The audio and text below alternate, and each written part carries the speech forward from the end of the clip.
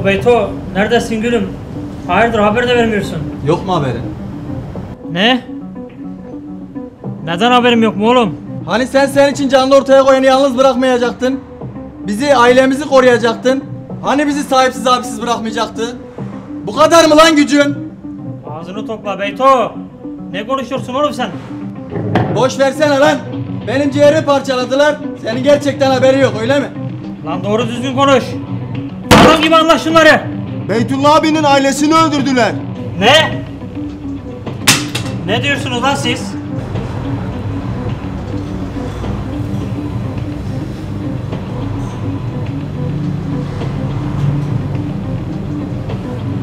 Başımız sağ olsun Beto.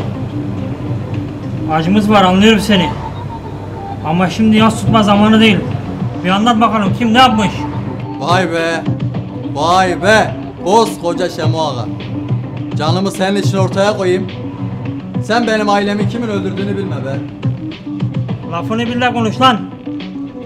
Acın için, intikamın için yanında saf tutup acını paylaşıyoruz. Daha ne istiyorsun Beto? Onlar ölürken yanımızda yoktun. Şimdi de olmana gerek yok Şemo Ağa. Haddini bil Beyto. Bu lafların arkası karanlık. Çıkmaz sokağa giriyorsun haberin olsun Beyto. Ne yaparsın? Kafama mı sıkarsın?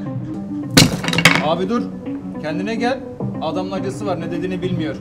Onun acısı bizim sevincimiz mi lan? Herkes haddini bilecek. Tamam abi adamın acısı var. Sakin olsan biraz. Al bunu dışarı götürün bro. Yoksa çok kötü şeyler olacak. Tamam abi. Bırak abi bırak. Gel dışarı bir. Bırak.